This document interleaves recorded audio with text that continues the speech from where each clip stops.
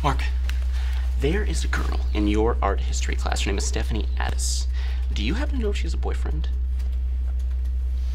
People don't walk around with a sign on them that says I'm.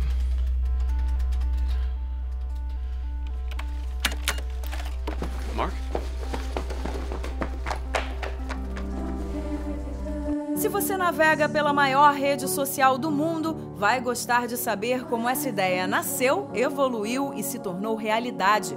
O fim do namoro do jovem estudante de Harvard, Mark Zuckerberg, interpretado por Jess Eisenberg, é o improvável início dessa história. Hey, Mark. Wardo, You and Eric are split up. how did you know that?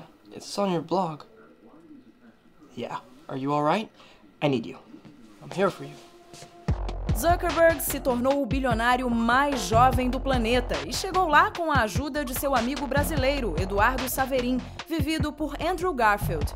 kind of antisocial kid who's innovated, you know, the, the biggest social phenomenon in the past hundred years. Justin Timberlake interpreta o criador do Napster, Sean Parker, que se torna sócio do negócio. It's really wonderful in the movie and uh, brings uh, such great charisma for that part and also kind of irony because he's a musician playing a guy who created the, the you know, a, an application that damaged the music industry irreparably.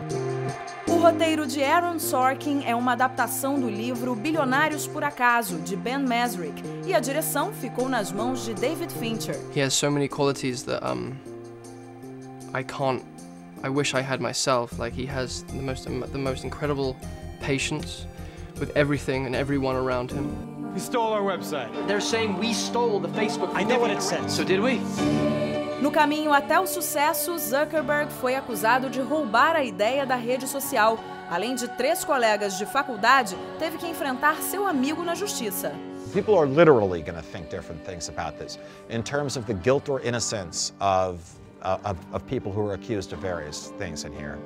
Uh, and then, in terms of the wider lens, people are going to have different opinions about what the movie says uh, about the way we communicate with each other today on the internet. As for the charges, I believe I deserve some recognition from this board.